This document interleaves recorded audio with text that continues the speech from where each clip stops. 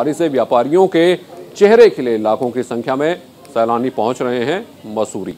तो ये पहाड़ों की रानी मसूरी की तस्वीर है, बर्फबारी हो रही है और आप देख सकते हैं, बेहद खूबसूरत ये तस्वीरें इस वक्त मसूरी की हैं, जहाँ बर्फबारी हो रही है और ऐसे में जो सैलानी वहाँ पहुँचे हैं, उनके चेहरे पर खुशी नज़र आ रही है।